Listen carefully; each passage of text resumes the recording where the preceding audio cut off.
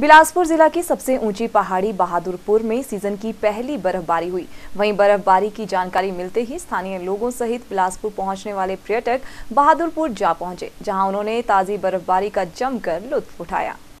गौरतलब है कि समुद्र तल से 1950 मीटर की ऊंचाई पर स्थित बहादुरपुर, शिमला, बिलासपुर, धर्मशाला राष्ट्रीय राजमार्ग पर स्थित नमहोल से 10 किलोमीटर दूर ऊँची पहाड़ियों पर बसा है, जो कि अपनी शांत वादियों व खूबसूरती के लिए प्रदेश भर में जाना जाता है।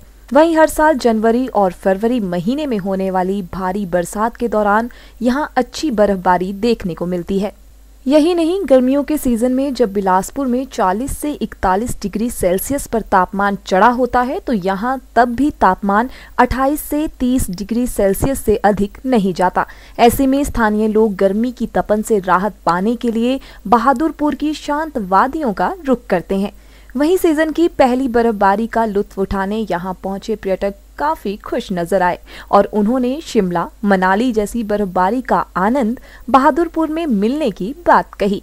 है, इधर बहुत अच्छा लग रहा है, बर्फबारी हो रही है। तो फिर हम अपने दोस्तों को बोला जाए कि आए इधर जगह का एंजॉय लें। और बर्फबारी का भी इंजॉय लें बहुत ही अच्छा लगा यहाँ पे आके कि हम पहले तो हमने शिमला जाने का था, लेकिन जब ये बर्फबारी देखी हमने हमने मूड चेंज कर दिया। हम यहीं अब दो तीन दिन के लिए यहाँ पर ही हैं अब। यहाँ हमें मतलब पहले तो पता नहीं था, अब देख के ऐसा लगता है कि लोग वैसे ही उधर का मतलब क्रेज़ है। अगर इस यहाँ का पता चलेगा तो लोग यहाँ पर भी आएँगे, बहुत मतलब बहुत अच्छा लग रहा है, यहाँ पीसफुल एरिया है और बर्फबारी है और काफ़ी कम से कम जो पिछली रात में यहाँ बर्फबारी हुई, वो छः इंच के लगभग थी। तो जो डाउन के क्षेत्र है, वहाँ तीन इंच के करीब इसके जो स्नोफॉल देखा गया था।